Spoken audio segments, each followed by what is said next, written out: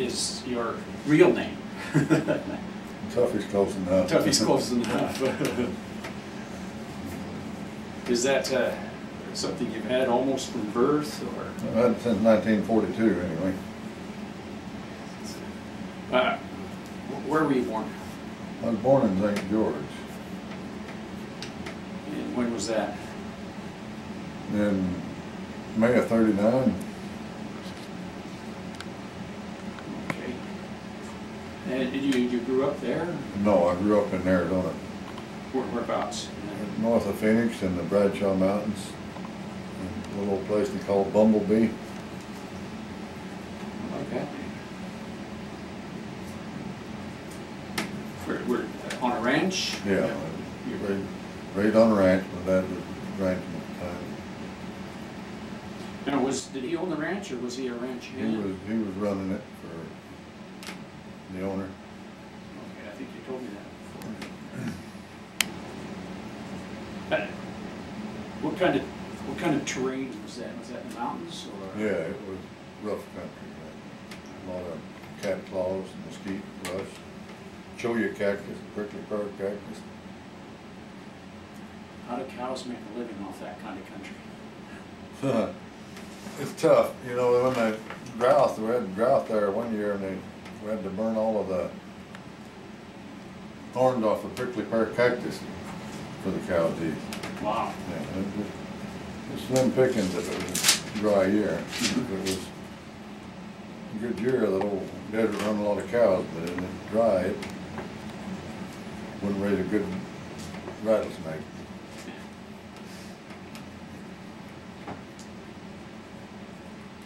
Cows wouldn't normally eat prickly pear cactus No, they're because full of the thorns and things. you- send them, take the weed burners and burn the thorns Oh, off of them, okay. and the cows eat them. Then there should be some nutrition in, Pardon? there should, should be some pretty good nutrition in that. Oh, yeah, that was, they survive on it, yeah. Yeah.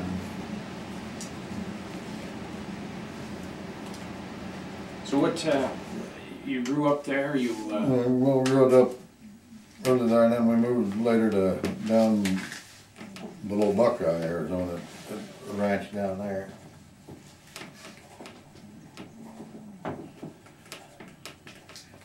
Then after the war, we moved to California, uh, Havilah, California. what, what was the town in California? Havilah, Havilah, okay. It was the first county seat of Kern County before they moved it to Bakersfield. Oh, okay. Uh, when we lived there, there wasn't nothing but a ranger station and us. Oh, Dad leased a ranch up, leased a ranch there and was up there for a couple of years, and then he sold his lease to another guy, and we moved to central Utah, just a little place north of St. George. What, what place was that? Uh, What was the town in? Central? Oh, Central. Yeah. Well, you said Central Utah, I was thinking, Yeah, uh, the- central part of the state. Well, the of it it was just where you turn off to go to Pine Valley. Yeah, just called Central Yeah. Utah, yeah. Dad bought a ranch there and in forty-seven when we moved there. And then in fifty-two, I left home and went to Wyoming, and went to work.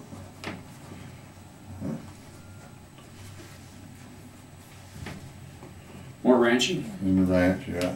And I was, I feel pretty fortunate. I don't know if I, I got on the, in on the last of the roundup wagons when they, everything was still done by horses. Had an old team of horses pull the chuck wagon and the camp equipment and everything. And we- But everything was done. A horseback, there was no four-wheelers and pickup trucks and horse trailers.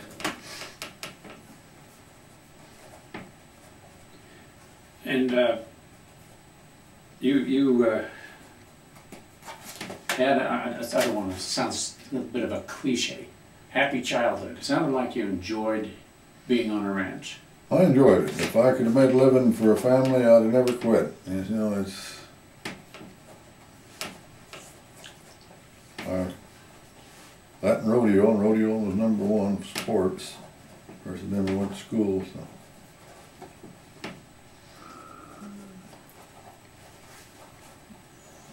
You did some rodeoing too? Oh, yeah, I rodeoed and clowned a little bit. Yeah, I, uh, don't, I was one of the original snowbirds. I go wild in the summertime in Arizona in the wintertime. I worked and worked in the feedlots west of Phoenix for Jimmy Boswell. J.G. Boswell, he's a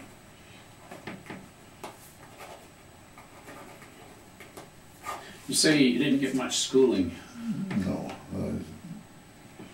I, I thought cowboy paid a lot better than going to school did.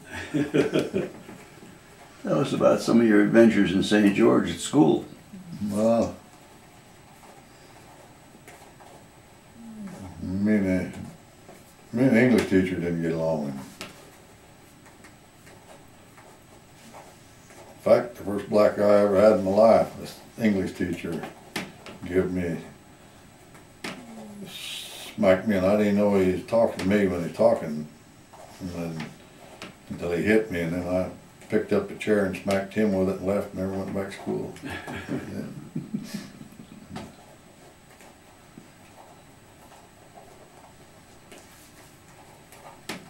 How old were you then? uh, eleven, somewhere there about. Had my twelfth birthday in Big Piney, Wyoming.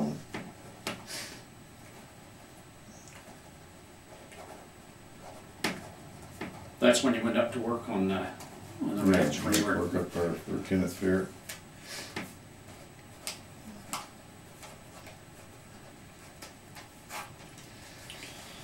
Then, I- like I say, I worked for Boswell in the wintertime in Arizona sometimes, and then I worked in Young, Arizona on a ranch for a while, and it, uh, then I worked, went to working in the mines there out of Young, asbestos mine.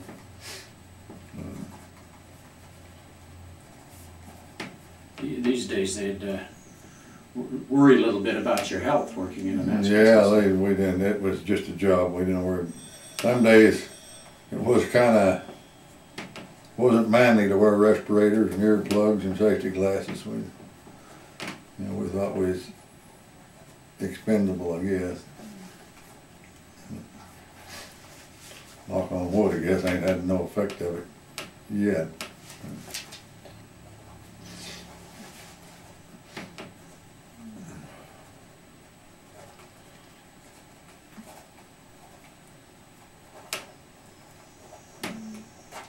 Then I worked in the copper mines in Arizona, the old Copper Queen in Bisbee and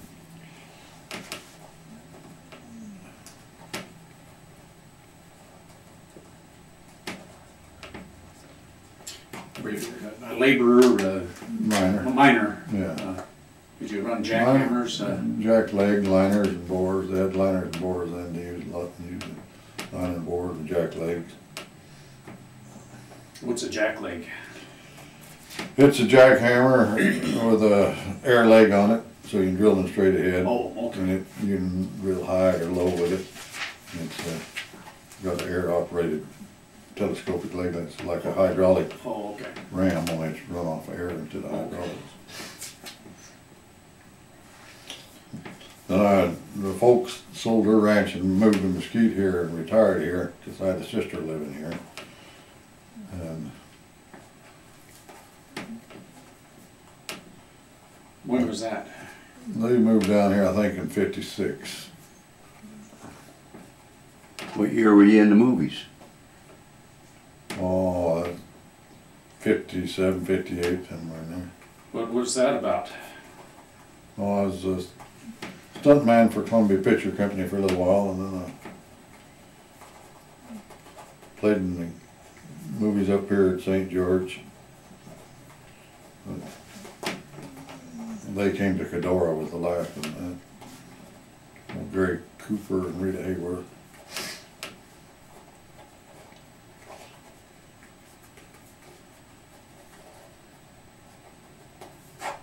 So were, were you Gary Cooper's double or just anybody? No, I doubled for Tab Hunter.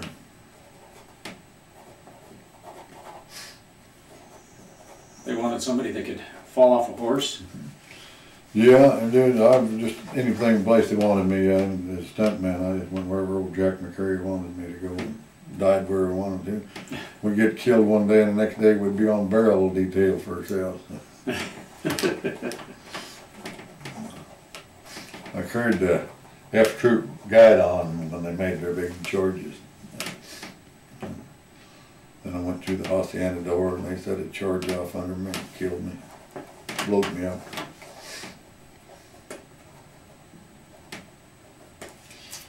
A lot of fun.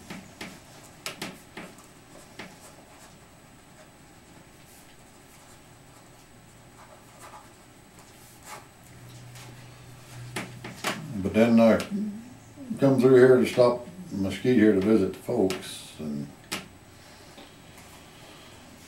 and they needed a powder monkey out here on the Tule, Tule Desert. They had a mine out here and a little floor Can't spore talk right mine. now. And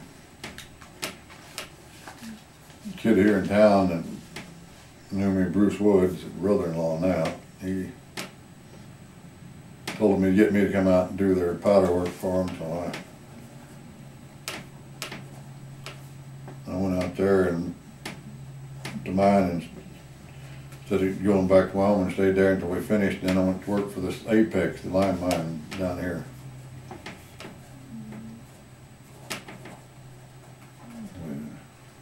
Where, where was the, is it a fluorspar mine? Yeah, it's out here on the Tule Desert, northeast of here.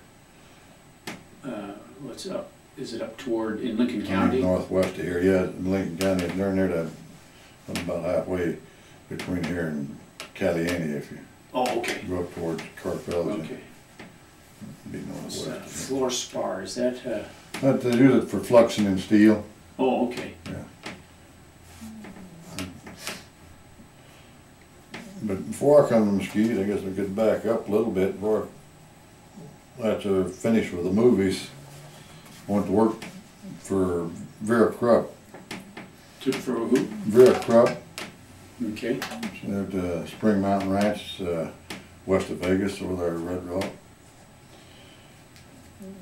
She was, uh, had that Krupp diamond that, what's her name, bought for Liz Taylor.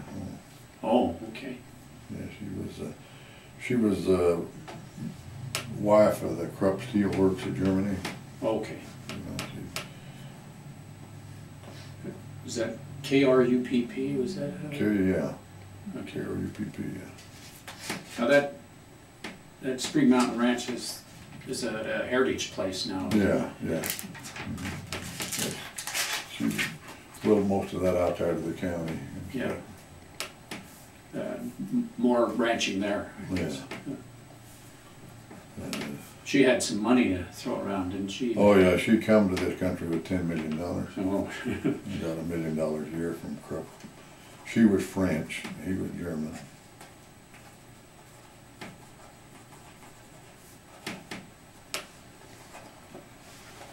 Were they just dabbling in it, just to have a ranch, or were they serious? about- She just, you know, got divorced from old Krupp, she just run ranch, she lived, she didn't spend much time out there, she spent a lot of time in California, then she'd come out and spend a little time,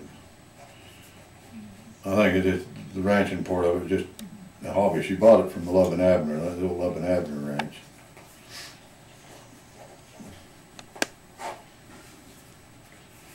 And Then I went went to work out here at the test site, out here at this nuclear proving ground as a miner.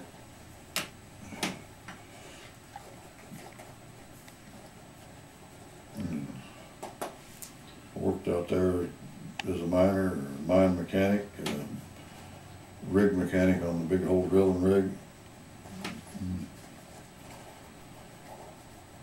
Off and on, it took me thirty-five years out there to get a ten-year pin, but I finally got one. Is that because you were going back and forth? Yeah, I'd quit and go someplace else. Or I stay on the job long enough to learn my first name, it's time to move. I worked through all the rock contracts in the Virgin River Gorge up here. Four different contractors.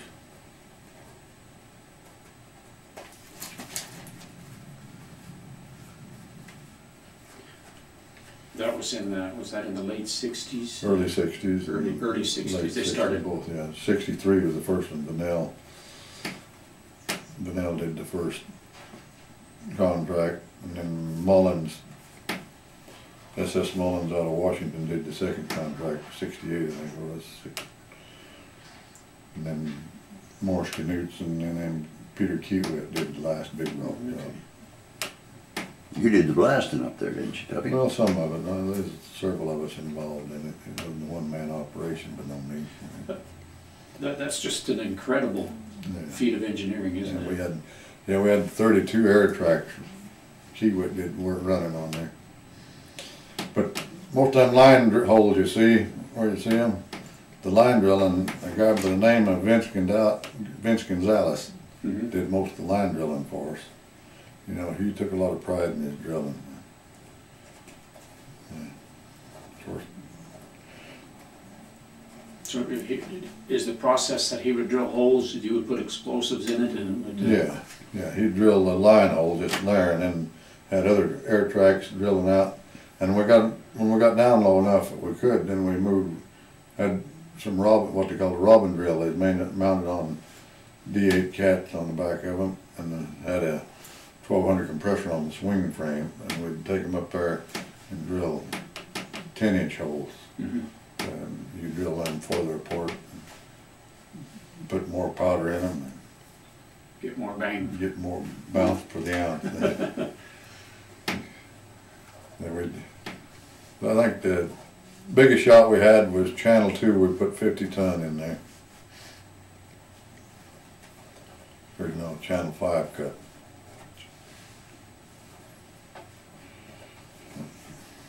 Fifty tons of explosive? What was the explosive that you used? We used there, was using a water gel. Hmm. It was uh, special because it was in the water, We had wet holes, so we used a water gel. But most of it was ammonia nitrate. Oh, okay. And we used stick, stick powder for detonators, but ninety percent ammonium nitrate. That's kind of the explosive choice for that kind of, You're right. Project Yeah, it's cheap. cheap. Really cheap, and it yields about eighty percent. Mhm. Like I said, it was a byproduct, a petroleum byproduct. was, was that a dangerous uh, place, wo- working in the gorge? Oh, no, no, it, no dangerous in any other job, you know, if a guy knows his hazards, he can work around the hazards and the thing is, you gotta be aware of the, what the hazards are. But there's, to me, there's really no more risk in any, any other job you do. You know, the guy can make it safe for himself or he can take unnecessary chances and if you wanna be around a while, you don't take too many unnecessary chances that they catch up. You know, we all complain about OSHA or MSHA's regulations or safety regulations. But if you take a good look at it, all them regulations was wrote in somebody's blood before they put in ink, before they. So.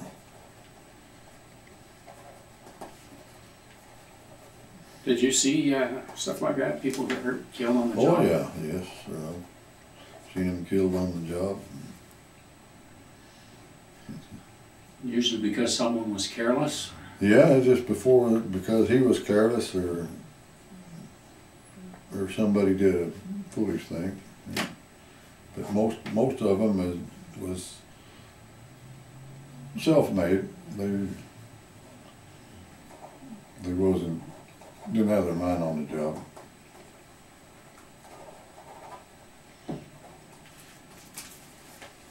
So you uh, spent what, about ten, eight or ten years working on the gorge? Oh, no, no, it didn't even take that long to do the job. Uh, it it was two years for Kiewit up there. Altogether, I'd probably about four years for different contractors up there. I just threw the rock. I didn't do any of the, wasn't with none of the asphalt or none of that Mhm. Final. Just, just digging the trench so they could put a road in it? Yeah, when the last stick of dynamite went off, they didn't need me no more.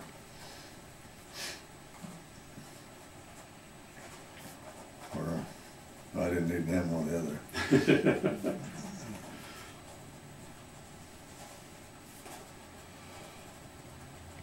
This, then I went to Europe. Well, I went before I went to Europe, I went in the Pacific for a while. No. Why was that? Were you, I was on the Glomar Explorer ship. oh, Uh, that's right.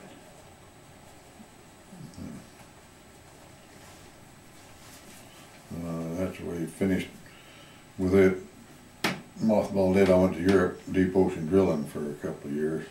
And was the Glomar Explorer, was that Howard Hughes? uh, No, Howard Hughes had his name on it, but Howard Hughes had nothing to do with it. Oh, okay. CIA. See, that's right, yeah. I mean, Government. Howard Hughes was the front. Yeah, he was the cover, cover gal. Mhm. Tu- Hughes Tool Company did make the lifting pipe that's on there for the Mhm. lifting fixtures, but GMDI engineered the ship and overseen it being built, built in Chester, Pennsylvania. But, uh, GMDI, Global Marine Engineering Development, overseen it and operated it and hired all the people. It was supposed to be deep ocean exploring, and it was really spying, wasn't it? Yeah, well, no, it's made for one thing, and that's to pick up that sunken nuclear Oh, submarine, that's Russian submarine. They used it after that for deep ocean mining, which they called it a mining vessel, but they actually did use it once for picking up manganese and cobalt nodules off the bottom of the ocean. You were the only miner on the ship though. No real miner, yeah.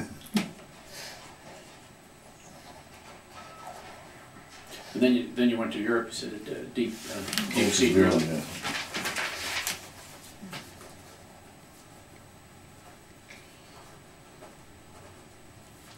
Where, where was that? Uh, Pardon? where- Whereabouts in Europe? Uh, I was in the Bay of Biscayne, off between, north of Portugal there, that little panhandle of Spain that reaches out across there in France. And we went up the English Channel and into the North Sea.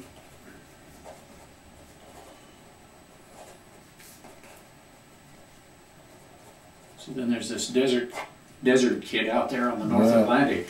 I was out there, I was in that Explorer, putting up pipeline in there and things, and the Lockheed cat come down there, and he told me to roll over there, the the boat where he get a picture, he said, they know, nobody gonna believe this, a cowboy in a rowboat inside of a ship. Had to get a picture of it.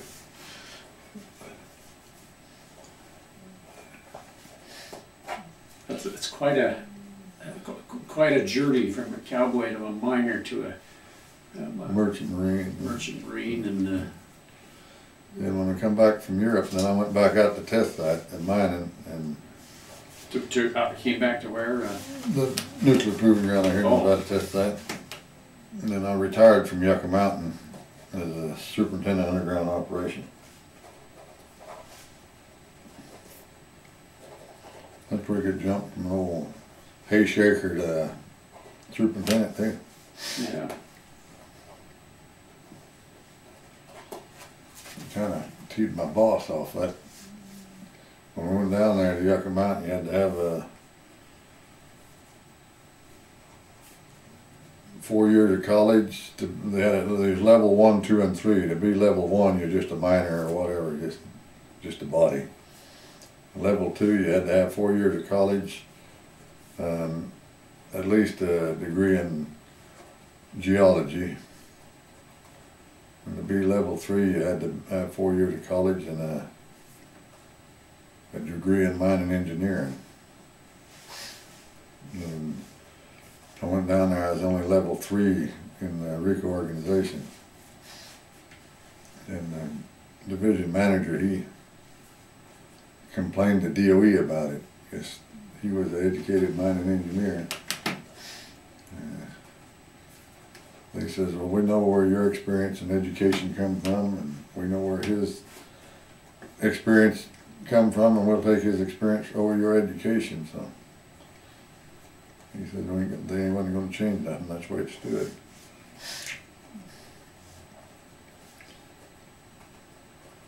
But I didn't like him and he didn't like me either, so we got along pretty good.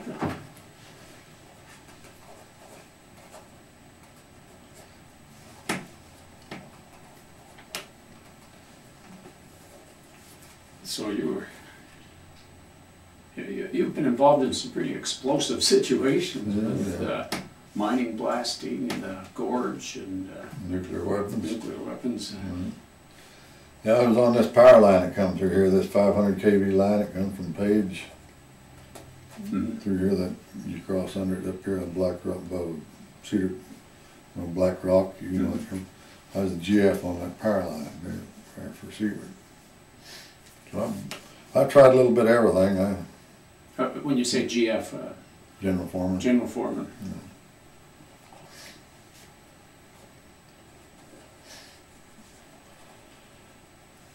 I've tried a little bit of everything, I told the wife, ever found anything I was good at, I just stayed with it.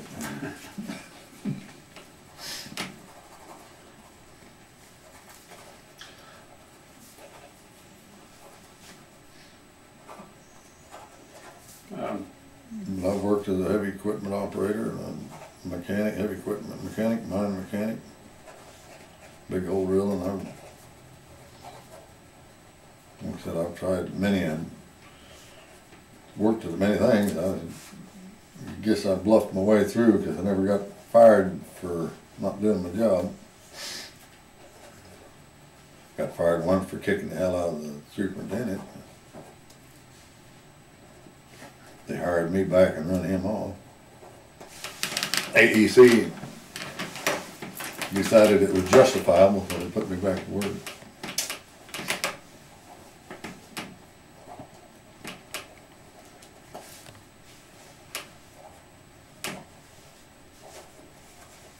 How much of this did you learn from your dad?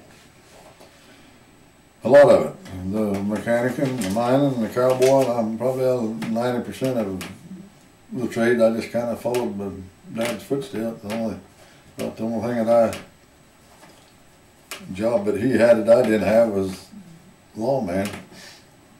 he was a lawman. Yeah, yeah, he was a territorial ranger of Arizona. Oh.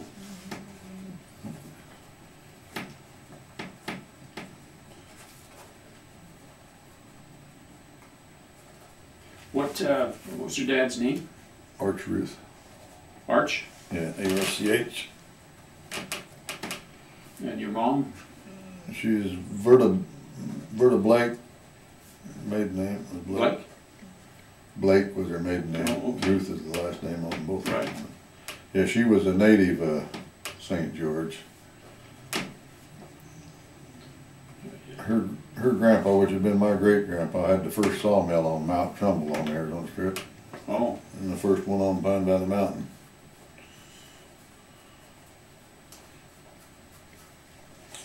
She's a native of St. George. My dad was born in Mills River, Hendersonville, North Carolina. In eighteen eighty-six. wow.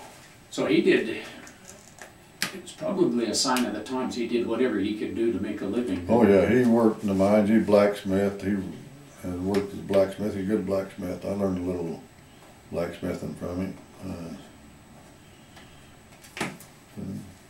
He said he ranched, that's how he come to Arizona. Him and his brother, they moved, come to Oklahoma during the land rush. And then ended up in West Texas. Then him and his brothers got a little bunch of cows together and drove them to Springerville, Arizona from West Texas. They got to Arizona. Then they, later years, they sent him up here to clean up the Arizona Strip. Outlaws off it, so that's where he met my mother and that's how I come to be.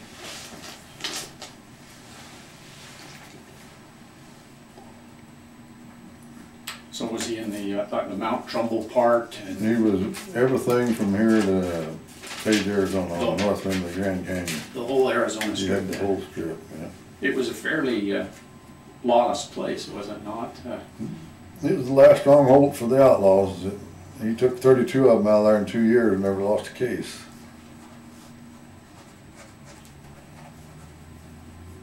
You say thirty-two Yeah, in two years? thirty-two outlaws, In two years. two 32. years. Were they uh, ca- cattle thieves? Cattle thieves, most of them, yeah, they'd been wanted for other things too, there was. Most of them was out there on the dodge from something. And of course, there's a lot of them, like old Bill Garrett out here and Art Coleman, and then there's, uh, Jack Butler changed his name to Butler when he come out here. He knew a lot of them guys in New Mexico and Oklahoma and that country before they come out here. Mhm. And like he told a lot of them, like he told old Jack Butler and old Bill Garrett, and some of them, he says, I don't care what your past is. It's what you do from now on out that counts. And there's old Eddie Yates and Bill Garrett and guys like that, Jack Butler, he never did have no trouble with. They, they knew what he meant. If you had to come and get him, you'd get him.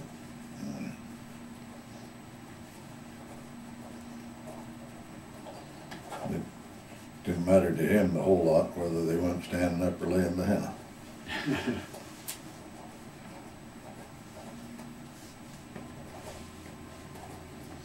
He kinda let, he kinda let that be their judgment, whether they wanted to go standing up or laying down. In fact, he caught one guy over by Kanab. Chased him from House Rock Valley over to Kanab and this old boy told him, he said, well, then I don't have to go back with you. He said, "This- I'm in Utah and you ain't got no jurisdiction over here. He told him, he said, I ain't no damn surveyor, I don't know where the line is. Said, You need to go back sitting on that horse or laying on that horse. So he went, went back, he died in prison in Arizona, this guy did.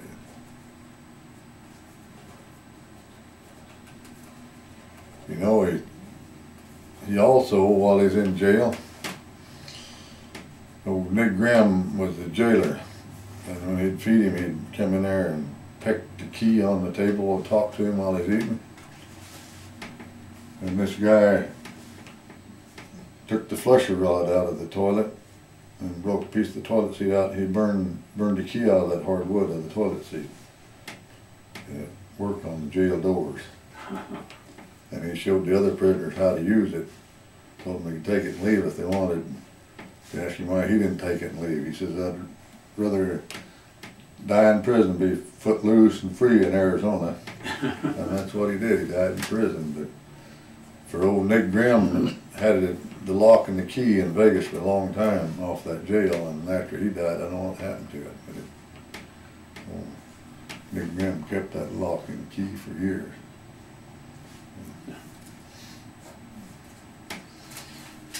So, there's just so many directions to go here. Well, he didn't touch on his prospecting days yet. Well, I was gonna get to that. I thought I'd get a little bit of family stuff. You, you met a girl here? Yeah, my wife went to the high school here. She was born in Lincoln County, but her dad had a little ranch yeah, in Barclay, Nevada, which her grandparents settled Barclay. She came here because there was no high school where she was. is No, they just went went through the grades up there. Had a- What, what's her name? Woods was her maiden name, Arfa. A, A R O R P. H A. Yeah. Yeah, She, she probably had relatives here, didn't she? Oh yeah, her mother. This big diploma sitting in here in the Yeah. room. That's her mother, Sure, her mother was uh, uh, Hardy. Hardy, okay. So- Her, her mo her grandma and grandpa on her mother's side was the first five on, the first five families that settled Mesquite. so you, you couldn't have come in here and started shooting up without hitting a cousin of some sort? Throwing rocks, you better be careful where you throw the rock. Yeah, cause I, re- we was related both on both sides, on my mother's side and the Blake side and the Hardy side.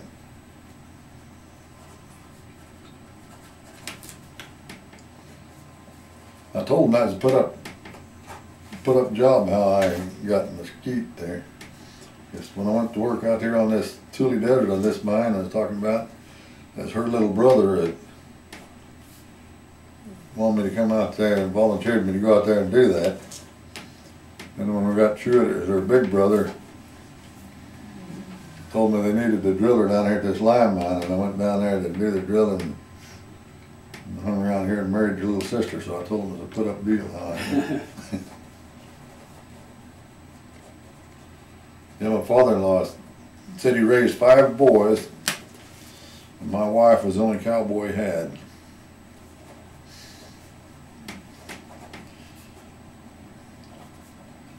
He said them boys got big enough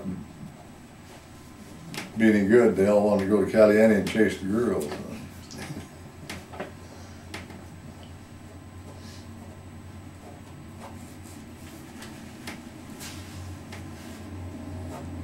And, uh, Then uh, you were involved in the, the mining around here, weren't you? Just, I'm prospecting around here, and I, I did, I drilled, I did dig a shaft up here on the mountain and run a couple little exploration drifts for combine metals.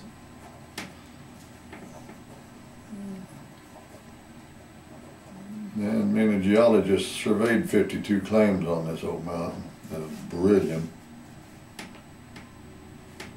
I never could find where it come from. It Just float. You, you found traces of beryllium, but you couldn't Yeah. find the source. There wasn't no source, yeah, just float, yeah, So you were working with a geologist? you said? pebble pin.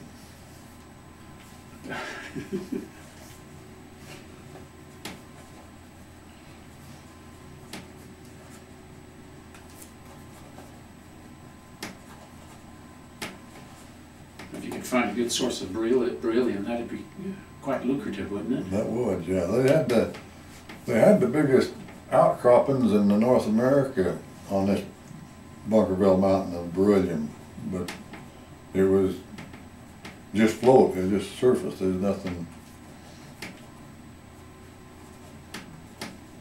mm, That you could mine.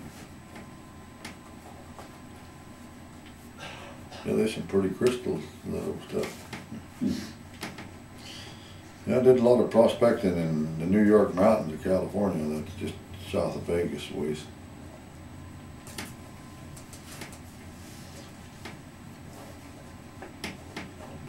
Down in a little old sinking little shaft, my dad would, most of the time would drill, cause he could drill faster than I was, we drilled by hand, know, single jack. And So he'd usually drill and I'd shoot, if he could drill faster than I would, sometimes I'd drill, but anyway, we was down in this little old shaft was sinking about ten or twelve feet. And I got down in there and loaded around, get ready, I told him when I spit it, I need some help out. And he says, oh, when you get ready to out, holler, I'll help you. So I, I spit around hollered and nobody come and I think I scratched more dirt back in that hole and I shoveled out of it in a week.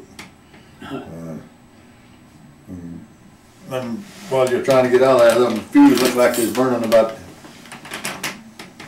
ten foot a second there, and boy, I scratched, scratched and got out, and of course, after I got out, then they, they quit burning, I just, I didn't think they was ever gonna go off, and when it went off, you- time them, you know, so you can count them, so you know every hole went off, so. And I asked my dad, I, told him, where you at, you're gonna help me out if I needed help out, oh, he says, I figure if you need any help out, it'd help you. You didn't want to be down there when it went off. No, he, he knew it was gonna, he had plenty of time. Me being just a little snot-nosed kid, I figured I'd run out of time in a hurry. What were you looking for there? We were silver and we had a little silver digging there we played with, and then there's some golden area we played with. This one particular place was thorium. You know, thorium is what they use in the wick of a Coleman lantern, Oh, yeah. So the glow, yeah. yeah.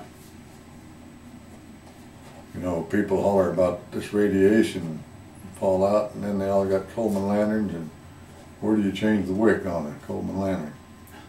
Set it on your table, change the wick, and then go make yourself a sandwich of that old heavy metal, you know?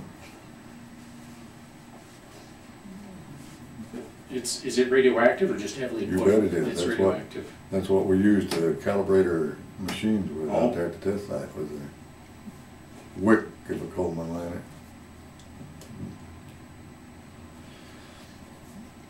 Cause it's a known source, so.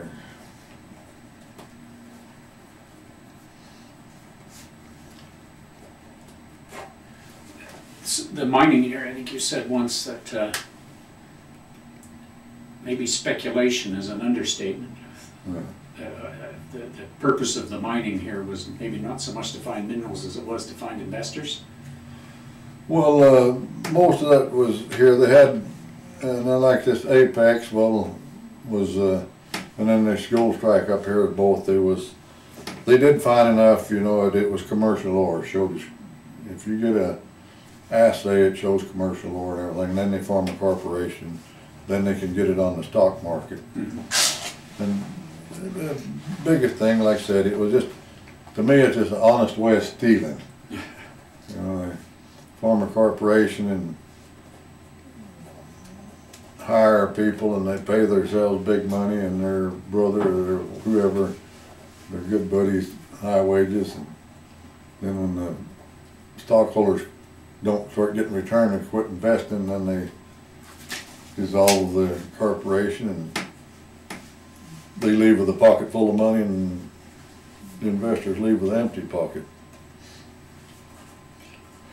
But it's surprising to me how many people get stung time and two or three times off on promotion, get rich scheme, you know, especially gold. You mentioned gold and right away they see dollar signs and they'll invest.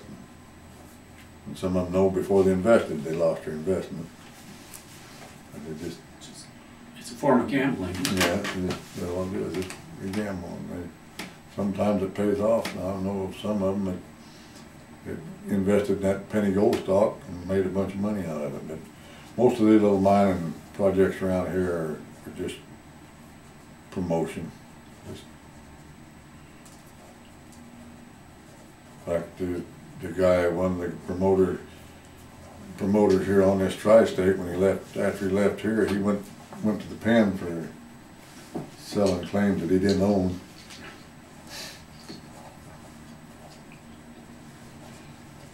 And Charlie Howell, it was Bertha Howell, husband, she, he, he did a little time in prison for mining scams. Is that before he came here? Yeah.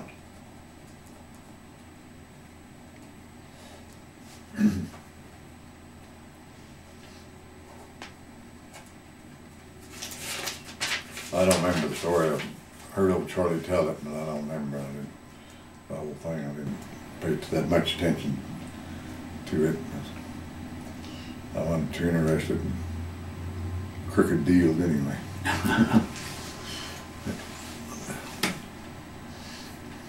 And you, uh, through all this, I get the impression that you're, at heart, you're a cowboy. Yeah, I'm still at heart. I'm a, He does his own leather work. We have made a few saddles and do.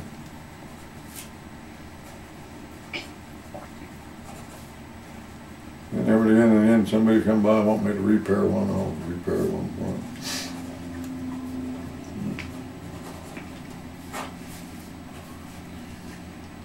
you, uh,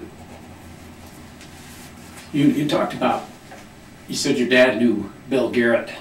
Oh, yeah, he knew, he knew Bill Garrett before he come in this country. What was his name, Art Coleman? Is that? Art Coleman was the guy that was with him. Oh, well, with him, that little guy. Yeah, Um, and then Eddie Yates, he knew Eddie Yates, was out there at Tassi. Of course, Eddie Yates is buried in Williams, Arizona, him and his daughter and son was all buried in Williams. They, they say that uh, Bill Garrett was Pat Garrett's nephew. Is that a myth? Uh, or- I think that's a myth. I don't think that was a true, uh, true statement. Some of them say it was, but Had, had he been in trouble with the law? yeah, yeah, he went to Wyoming, he was in trouble with the law, he went up there. And he got in trouble up there, he killed a guy up there in northern Colorado, the supposedly northern Colorado. they're gonna hang him. in Colorado. They done tried him, were gonna hang him and a bunch of them got together from over there, Vernal. Went over there and proved that he killed this guy in Utah, not in Colorado.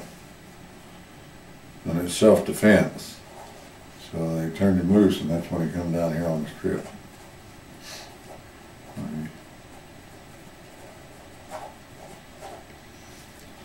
He averaged a few cattle and prospected out there, had a little gold digging. Did you know him?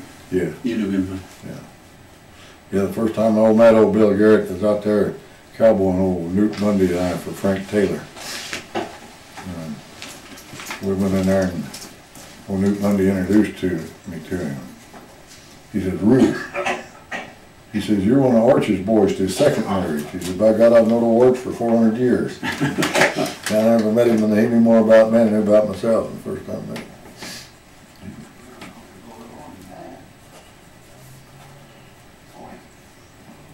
Well, there wasn't a lot of population out here, so people tended to, to know each other, didn't they? Yeah, they, everybody knew pretty much, you couldn't hardly move without somebody knowing about it. Yeah. He was in the area very long. Yeah, well, like I said, old Bill knew my dad years ago, knew, and his baby brother worked for dad for a long time, Jack Garrett. And he got killed in France during World War One. Oh, okay. Fears from down there at Payson brought old Jack's saddle back. Then he had a brother, Ed. He had a feedlot in Kansas, Ed did. And when he, when Bill died, he come out here and Dad and Ed went out to go butte together. Like I say, Dad was a longtime friend of that bunch of boys. A lot of characters. Yeah. First time. Told Dad I wasn't too sure if they didn't pardon him from prison if he'd take the ranger job. But This, this, uh, Jess Fears, it brought Jack Saddleback, him and Dad joined the Rangers together. Mhm. And later years, I don't think it was back in nineteen twelve or something, thirteen, Dad and Jess Fears built the first ranger station on Pine Top, Arizona, Pine Top, Arizona. They, first, Dad's first wife was, they called her Ma Ruth, she was, she's in the Guinness Book of Records, she retired undefeated world champion fiddle player. Of course, her dad, Grandpa Hopen, he was instrumental in the capture of Geronimo.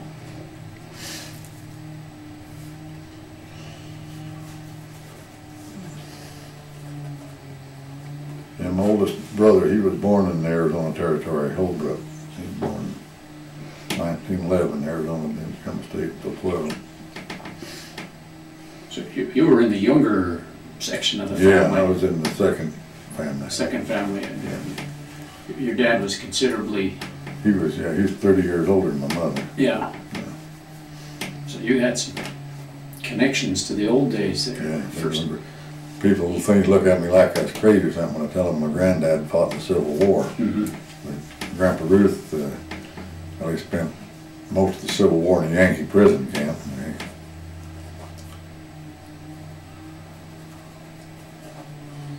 He was, but Dad's oldest sister, he, she was born year the Civil War ended. She's born in sixty-seven.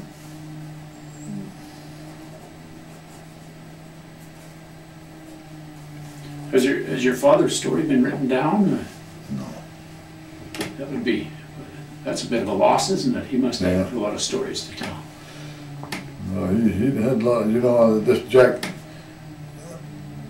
Butler I tell him about, he, he's over here one day and I'd heard he died, but he was topped over here, he trapped ahead of the sheep, sheep people, you know, and coyotes, bobcats, whatever, he- lions, whatever might be, getting their sheep, and he was over here and I told him, I said, why don't you go up and visit Dad? He said, well, I heard he passed away. I said, no, he lives up there.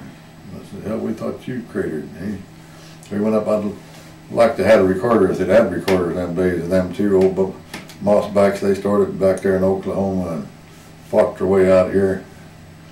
But he was one of the first guys that Dad run into out here on the strip.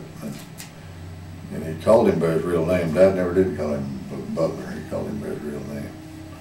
And he, uh, he looked around to see who was asking about him and he, he seen who it was. He walked over and he says, this is a hell of a place to come to repent from your sins, ain't it? Yeah, there was, there's some tough old cookies on that Arizona strip, but there's some colorful old guys too. and Like old Bill Shanley, he was a hard egg. He broke out of the Colorado state pen. He escaped on the warden's horse. And he ended up out here. He-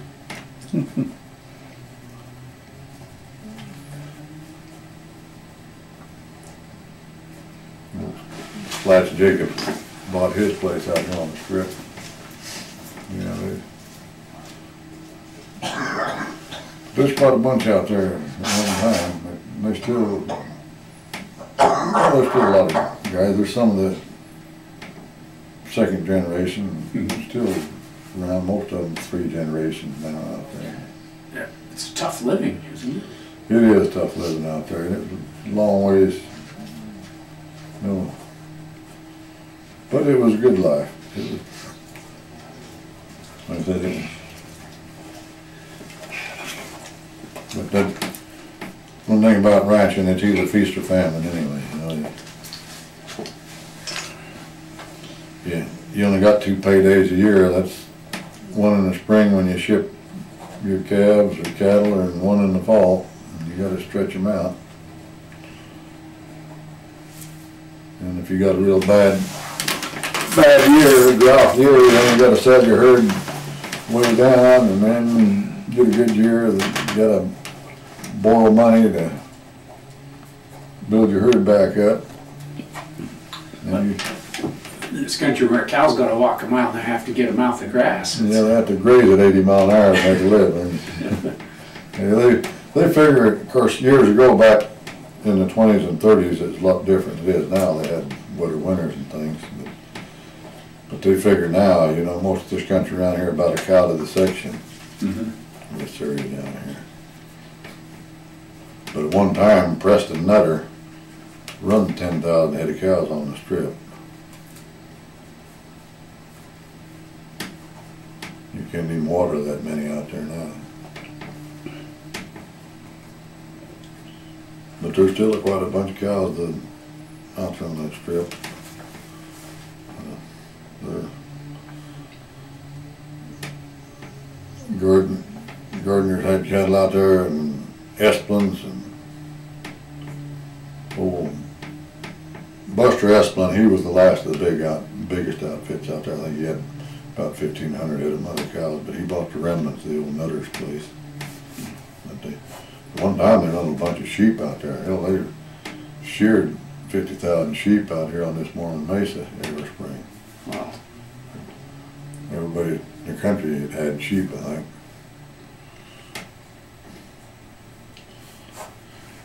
And a lot of them went out of the sheep business and went into the cattle business. So you, you've actually lived in constant change, haven't you? Yeah, yeah. Yeah, I've seen a lot of changes in my short time. Like I said, I felt I was pretty fortunate, like I said, to get in on the last of the old roundup.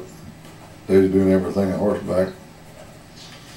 We run cattle, when we come up, we run cattle from, uh, the mountain meadows up here what they call Pinto and Grass Valley. When we moved up there, I was, I think, nine years old. And eight or nine, and my dad told me to go over in this area they call Horse Valley. And told me what he wanted me to do, and I says, I don't know that country, I've never been over there before. He says, just go there and get lost, you'll learn it. The way I went. And Him and, the- him and this old George Lytle, uh, two, them two guys could ride a, give out horse farther than most people could, a freshman. Said you they put a hundred miles on a horse in a day if they just went from point A to point B. And this old George Lytle, and they was both old men by the time I was big enough to ride with them. And I still didn't like to ride with them, they'd ride you to the ground. Yeah. But this old George Lytle, get up in the morning, and he'd put two or three pieces of raw bacon between a, you know, bacon powder biscuit and away he'd go. He could ride further on raw bacon and a bacon powder biscuit. Anybody ever seen. Yeah, he, rimming old, old man, a good old man.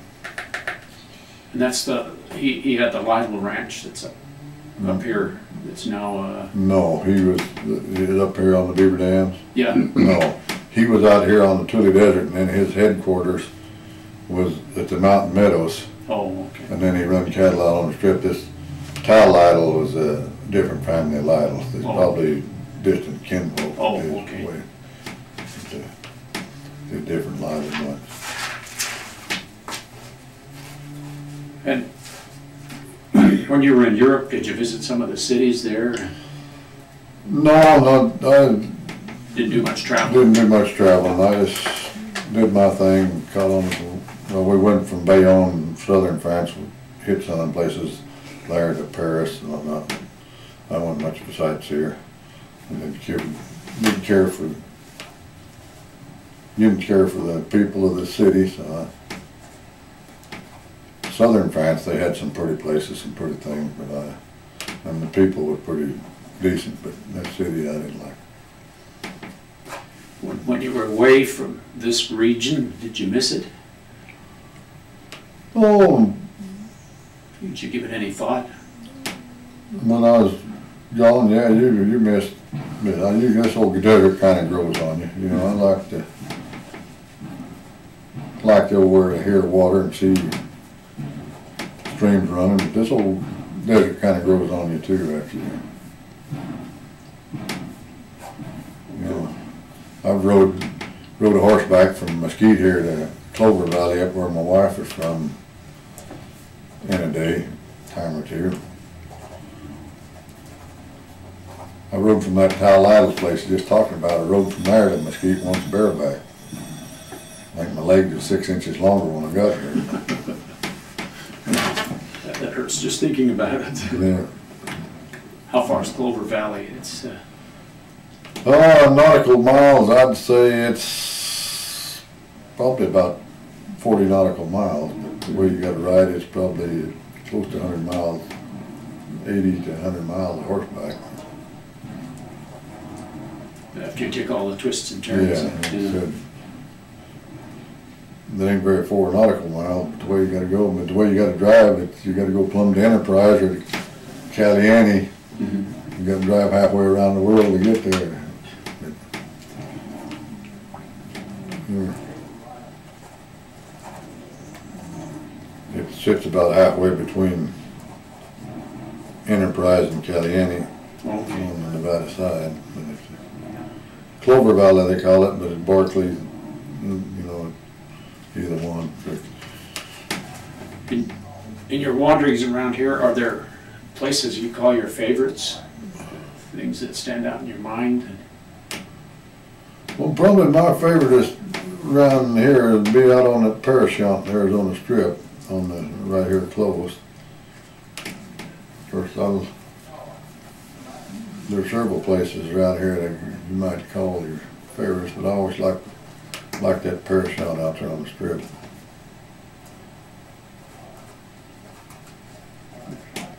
Pretty free and open and, Yeah, ain't nothing around, you just eighty miles from nobody, and it's nice and quiet out there.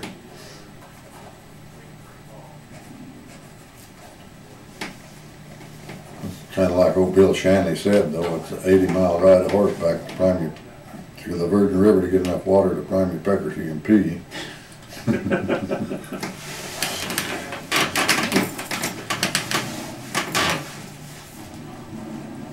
think I could top that. No, no, quite the guy, Bill Chandler. He kept old Dick Hammer and beef for years. I know Dick Hammer probably sold beef there 30 years before he sold the legal one there. mm -hmm. yeah. Well, appreciate your time. It's, I bet there's more, but Oh, yeah, I can go on and on. You know, I covered a lot of country for a young guy, just, you're, you're a bit of a, the, the- the word's anachronism, a little bit of out of your, out of time because of your, your father being so much older than you. yeah, I think I was born about thirty years too later then.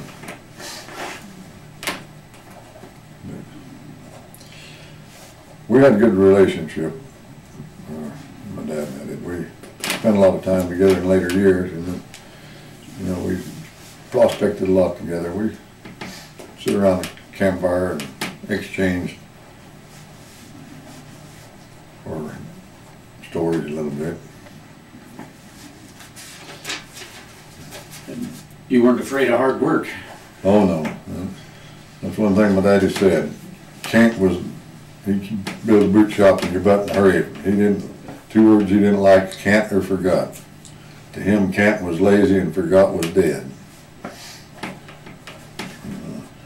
he says, a guy might not know how to do it, but he can learn. And he didn't like to hear that can't. And it's true, you know, you do about whatever you set your mind to do. I needed a job and they'd hire and whatever they was hiring for, I could do. That's what I was, you know. Hmm.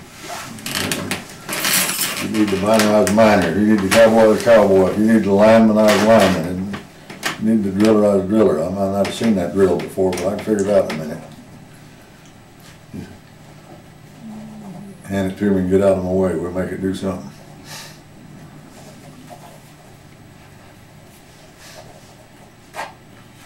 Do you, do you ever get on a horse these days?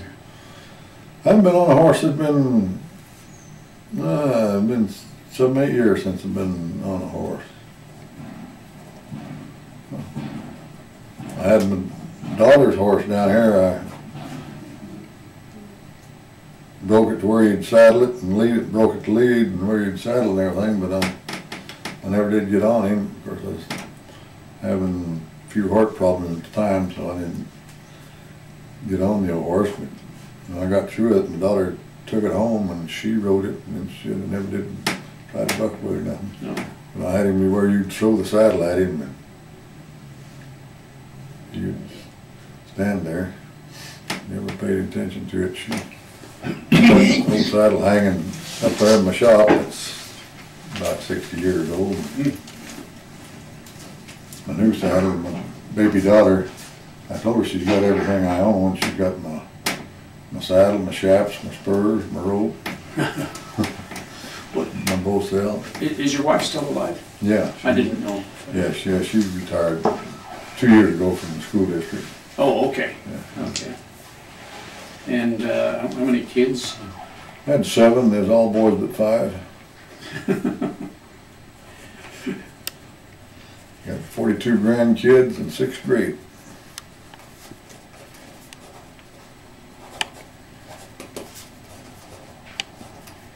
Last count, anyway. Yeah, yeah, you can, that can change. Yeah. And you enjoy them? enjoy the devil out of them. I go up there and my, one daughter's got a, her and her husband's got a little ranch up in Lincoln County. And I got a trailer up there. I go up and spend a little time up there. He's a general contractor, but he, he farms a couple of hundred acres. And he's got a couple of hundred head of cows. So I'll go- go up there I'm, play with him. there. Have, uh, you, you worked hard to make a living, I mean, hard work and. Yeah, I always did, you know, hard work never hurt nobody, Did- but it- I've always worked at a job was considered that most people wouldn't like, you know, mining or, or stuff, but I enjoyed it, you know, it's, we worked hard, we played hard, we fought hard. Us cowboys used to go to town Friday night to fight the roughnecks. That was kind of a, kind of a hobby with us. there in the early and mid fifties. Go, to town Friday night and fight the Roughnecks. Do pretty good and then the Roughnecks change shifts on us. There's three shifts of Roughnecks, and only one shift of Cowboys.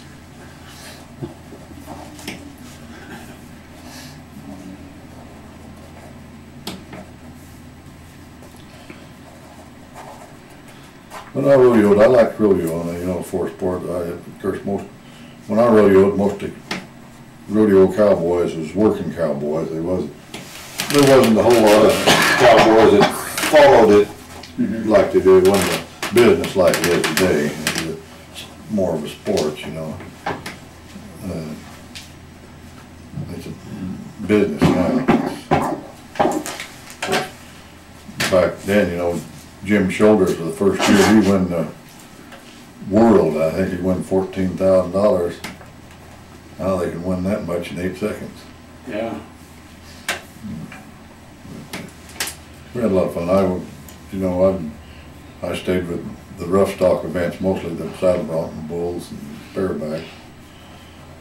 If it was close to the home ranch where I could ride my horse to the arena, I might get in on the roping, but if I had to haul them, I didn't. And I, a lot of little rodeos, like county. small- Yeah, there's little county fairs and little town rodeos, most of them, yeah, they just. I did compete in professional rodeos, several of them, and it just happened to be close.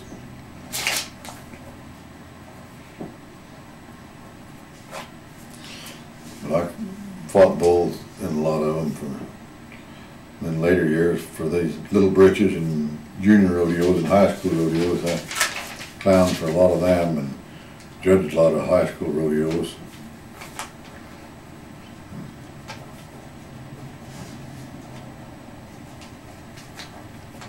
You did, you say you did clowning for them. Yeah, How many broken bones have you had? I don't know, a bunch of them. Oh.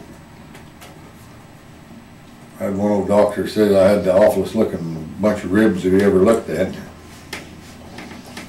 Told me probably no bull didn't like the way they looked either and rearranged them. We didn't worry much about broken bones unless you couldn't walk on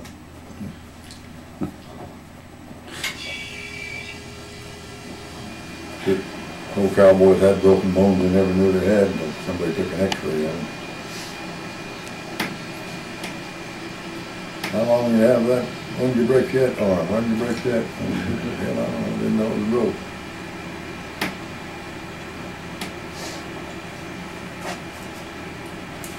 You didn't go looking for the easy life. I mean, Oh, no, it- you know, didn't have time to sit around and sniffle and whine and, no. You got bumped and bruised, you went to work, you didn't, there was no such thing as light duty or that, you either, either come to work and did your job, or they get somebody else that would. Unless it was something real serious. You know, if you got a finger or something cut off, you take two or three days off, uh, all right, but after that, you better come back to work or somebody have your job. Making that big money, when I first went to work, cowboy, and I'm making that big money, you know, three dollars a day. yeah, you know.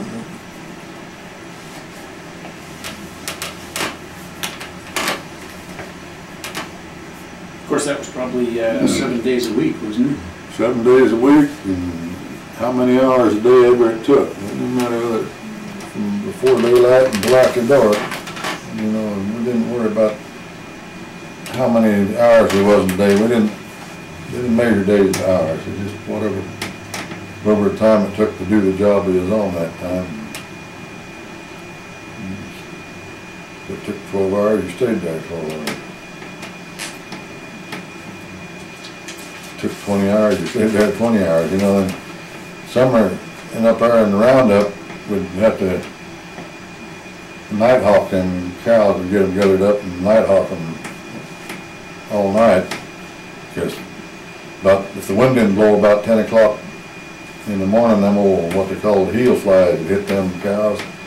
And then they'd stick your tail straight up over the back and you'd see fifteen thousand, had to go, cows go fifteen thousand different directions. And Then you, all afternoon of gathering them up and hold them all night so you could work them again the next day until the flies hit them.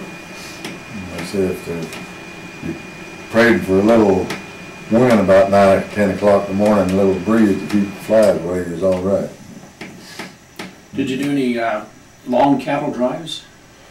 Um, probably hundred and thirty miles is the longest one. We used, we used to trailer cows from the Opal, Wyoming to the railroad and ship them to rail, then we didn't truck. Well, Pinedale is, I think it's hundred and thirty miles from Pinedale to Opal. That was the longest drive they had. Pinedale is the longest place, furthest place in the continental United States where it's railroad. Oh.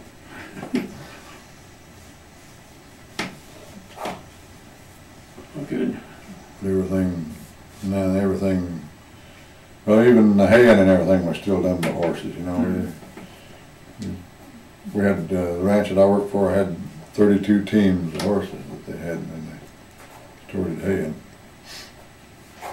And then nineteen fifty-five, then they went to The Tractor. tractor, mowing and- and tractor mowers and power buck rakes. They still put it up loose. They put it up loose until the late fifties and then they went to baling it. Yeah, it's a, they say it was kind of a tough old life, hard to get. We stay out there on line camp. This Joe Chrisman and I waited out there, he was one line camp and I another, we'd stay out there all summer, you know. You, you can't get cowboys to go out there and stay now all summer. Uh, you know, they gotta have a pickup truck and a horse trailer. We go out there and stay and then the only transportation we had was a horse, we wanna go to town. Get on at it, probably fifty miles to town, get on and ride into town. If you didn't, you stayed out. Get a, if you get a whiff of hay these days, does it bring back some memories? Yeah, it reminds me of what I don't wanna go back to doing, that hay. That hay is just like making concrete, there ain't no easy way. I didn't, if I could do it on horseback, it's all right, but I didn't much care. Of course, that was part of the deal, you know, and when cows was paying the bill, you had to take care of them, because they was your bread and Your, your haying was different than my haying. Your haying was forks putting up on the Hmm. racks and then putting what, the Mormon derricks or, uh, We had what they call the beaver slide, We oh, didn't use the derricks like they use, we used the beaver, beaver slide, it had a big plunger. But it, the horses get on, and they push it up this big ramp, beaver slide, and it fall Oh, off. and They back up, and they sweep, you had a horse here and here, and it had fingers out in front of you, go down the windrow and pick it up. and Lay it up on this thing, and they'd back up, and then they'd push it. And they had to, maybe they had one of these forks lay down, you'd take your leg, and, and they'd stand up, and the team horses would pull it up over there. And we had the sides on this beaver slide, you know, and just to stack it. And then when you get it up high at the top of that beaver slide, then you'd take your team and slide it ahead. You'd make several stacks end to end. It, it was a little faster than the old than just a fork in a rack. yeah, and then, of course, like I said, the, the old Mormons come out, that old gin pole and the ropes, you know, they take it, pick it up, swing it around there and pull a trip and that one end of that rope would drop and drop the hay and then, then they could drop the rope, go back and get another and they'd put about, that uh, one layer of them rope they put right on the wagon box. And they'd load it up about half of the load and they'd put another set of them ropes on it, and when they get that on there, they would be stacked. They fold it up, hooked in a hook, and one of the hooks tripped when they pulled that rise, dropped one in and dropped the hay off the pile. Then, then they, later they had them old Jackson forks, you know, and the borns, the little forks like a clamshell and needles. and Reach down there and grab the hay, you stomp it in the hay and pick it up and the horse would pull it up. When you pull it back where you want it, flip the string and they open it, dump it. It was kinda slow. The hay was stacked right, you could get a pretty good load in it, but if it wasn't, well, you didn't get much hay in it. Them old rope nets were good as anything that way. Wow. But was, sure made it nice and went to Balin though for us. Moving hay. Well, good. You could feed, when we went to Balin, Balin, we still had the wintertime up there in Walman, had to feed with bobsleds. There's no snow, to get, you couldn't get out there with tractors and things, you had to use a team of horses and them old bobsleds. And it sure made it nice when to just one guy could go out there and feed four times as many cows as four Yeah. guys could with digging that old frozen hay up loose. Got out there one time in a hurry with a bobsled, and I was in a, in a hurry, it's cold, at thirty, forty below, and in a hurry, and then bobsleds is cross chain, there's runners on them, and they turn square, you turn the front, the hind end turns too. So man, I swung that team out, and then back runners running the haystack, there I was stuck in the haystack. So then what you do, you get off and unhook your team, and go hook on the back of the wagon, pull it out of the stack. If you get in a hurry, you just get yourself in the bind. That- You're in a hurry, get done in a hurry, you end up being an hour longer than you would have if you just took your time. You learn, them kinda, them kind of things you learn, like I say, my old daddy said, if, if you learn from your mistakes, they're good mistakes. If you keep on making them, then they're bad mistakes. But you know, you gotta make mistakes to learn.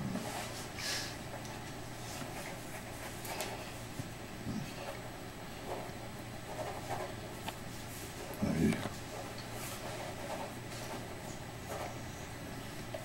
And I'm the same way there. If I had you working for me, I'd rather have a guy worked for me that made a poor decision and no decision at all. And, You know, I didn't, didn't much care having people around me that couldn't think for themselves. You had to tell them every move to make. I didn't need them.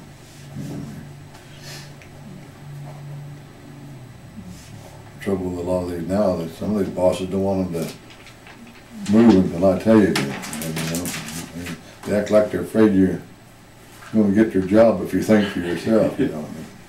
And not, not me, if they can't think for themselves and they see things that need to be done and can't do it, well, I don't, I don't need them, because they're gonna finish a job and sit on their buns until I come back, tell them to move. I You don't need them, they can go someplace else.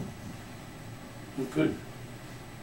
Like I told them, I had a note, a sign hang up in my mechanic shop out there and clean up after yourself, your mother don't work here. What, what about your mother? What, uh, what was she like? You talked a lot about your dad, but, Oh, she was just a rancher's wife, she was, well, she was one of the ranch hands some of the time, her and her sister, her, one of her, her sisters lived with us for a long time down there in Arizona, and they was both good hands of horseback. They, they didn't have take no back seat to the average man when it comes to cowboy. But She was a good cook, she's, she's a good homemaker, she was, I know all of the, all of her relatives and things that come out there, "Oh, we wouldn't live like this, live out here like this, they didn't, none of them wanna live like that, but boy, they sure happy to come out there and stick their knees under her table and let her wait on them, but they wasn't gonna live like it, but every chance they got, they come out there and stick their knees under the table. She canned a lot of fruit, and she made, we raised about everything that we eat. I go to the store and buy a little flour, baking powder, coffee, sugar and stuff of that nature.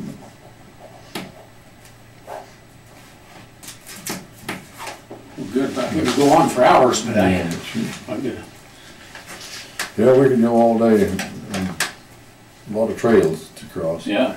you yeah. know. Said I covered a lot of country in a short time. I wish, I had an aunt, my dad's sister-in-law, she told me one time, she says, uh, you know, you're just like your Uncle Jinx and your dad, he says, somebody tells you a ranch over the mountain, you gotta go there to see if it's there or not, you know? She says- She says, you know a rolling stone don't collect no moss? And I says, nobody, they get awful slick. She, uh, she cooked it for Apache. Oh, Yeah. She was a good cook too. You like to see what's over the next hill? Oh, yeah, I was always looking over the hill there, see. Somebody said there's something over there, I had to go try it out and see if it's there. But- Like I said, I started out at a young age of doing it. I'm, I'm eleven years old when I left home and I've been on the bum ever since. Uh, I told the wife when I got married, I said, I guess you know you ain't doing, know you ain't marrying nothing but a bum. She said she didn't realize how big a one it was until she married it. She said she seen more, more country the first six months she was married to me and she's seen the rest of her life. But I ventured out even after married, ventured out. She stayed here when we were in raising family. She said, family ain't gonna see fifteen different homes a, year. She So this was your base. but yeah, she stayed here and I ventured out. I used to, used to tell them, my wife would tell me that my check was five hundred dollars or bigger, and bring it, if it's smaller, mail it.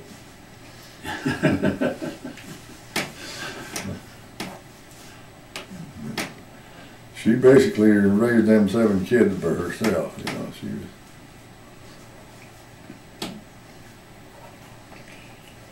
I spent, though I spent more time at home when I was working in Europe than I did when I was working in the States. Because you had uh, regular time off. Yeah, we'd work twenty-eight days on and twenty-eight days off. Had about a twenty-seven day weekend at home.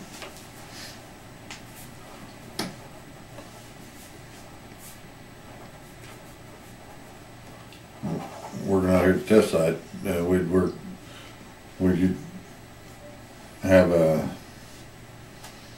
an experiment, we'd work seven days a week until we got through with it. Twenty-four hours around the clock, so you didn't get home until the event was over, and then we worked five days a week, so you didn't get a whole lot of time at home, them, it's just four hours driving home, and then it's four hours driving back, so. Eight hours of that weekend you spent on the road. Yeah. From cowboy to the nuclear age. Seen it all. That's where my daddy was, you know, he come west in a covered wagon and seen the first man walk on the moon. Oh, He's seen a lot of changes in his time. how old was he when he died? Eighty-two, been gone forty years, last May. I always remember that, he died on my thirtieth birthday.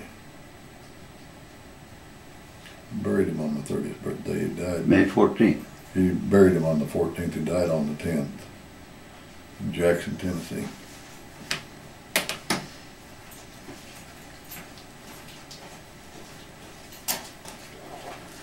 Well, good.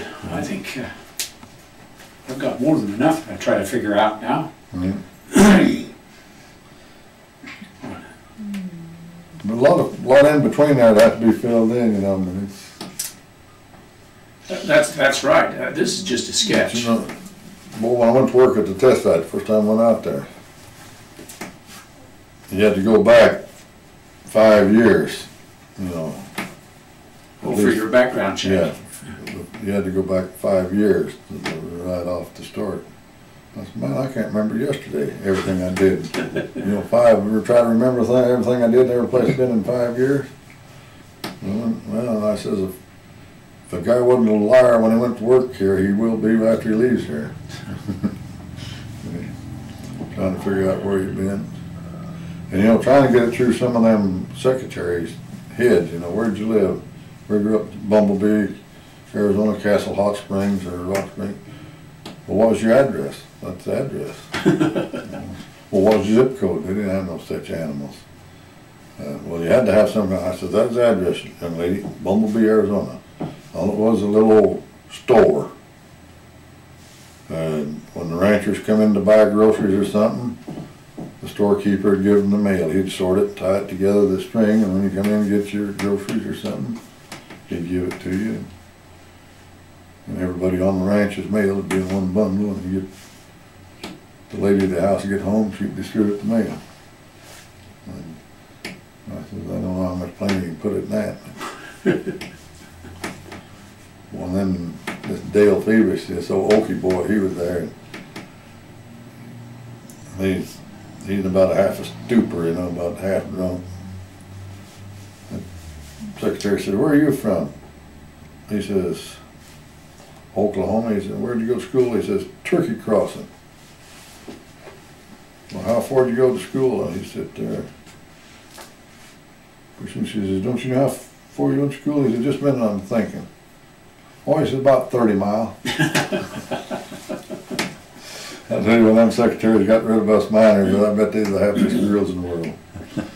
And old Jim Mason, the old boy, he was the first Q cleared miner on the test site nevertheless. He passed out while was interviewing. Today, you know, if you even looked like you had a drink, they wouldn't even talk to you, let alone hire you. He was, he was, uh, I told him that they said, how do you get a a Q clearance so quick? And I said, then therefore we go very far back to check him. Lincoln County Jail was his residence. What the old, the old Jim, he said, to be a miner, he said, to be a miner, you gotta belong to the APA Association, the American Pack Ass. About true, you grab a jack leg and a hundred foot of hose and take off, and old jack leg weigh a hundred pounds, not counting the hose and drill steel. Good old days. We had a lot of fun though, like I said. Yeah, Worked hard and played hard. well, good. Well, I, I really enjoyed this. It's interesting. But I think it's only, I Same think it's way. only part one. That's right. And we're a cowboy, you know, uh, we hurt each other more playing with each other than we did anything else, you know. Yeah. We didn't kill each other, some of the pranks we pulled on each other. Well, that's why I asked you about broken bones. You couldn't have got through all that without broken oh, bones. Oh, you got a few of them here and there.